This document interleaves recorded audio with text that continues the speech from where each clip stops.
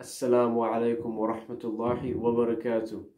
Would you like me to tell you today how to plant yourself a tree in Jannah? How to make your own plantation, your own forest, your own garden of trees in Jannah? Well, one time a companion of the Prophet Muhammad wasallam named Abu Huraira an, was planting a plant.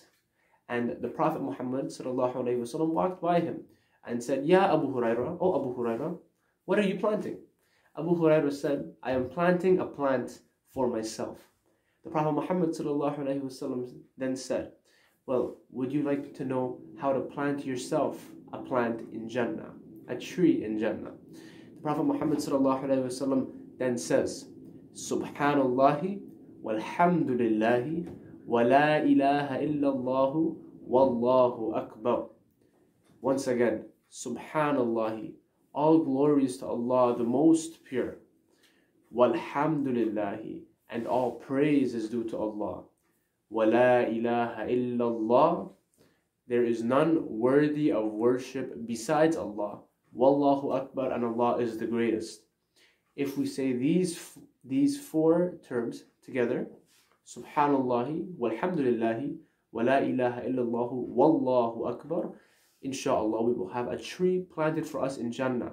Guys, let's make our trees, let's make our forest in Jannah so big, subhanallah. If you looked at the, this Google, the description of the trees in Jannah, you would see how enormous they are and how unmeasurable they are to these minuscule trees that we have in this dunya. And you would want to plant yourself some trees, inshallah.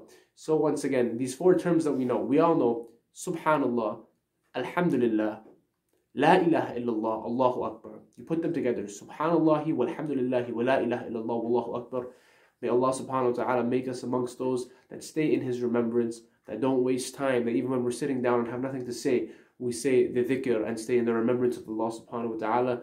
May Allah subhanahu wa ta'ala reward us with the treasures, with the palaces, and with the gardens of Jannah. Assalamu alaikum wa rahmatullahi wa barakatuh.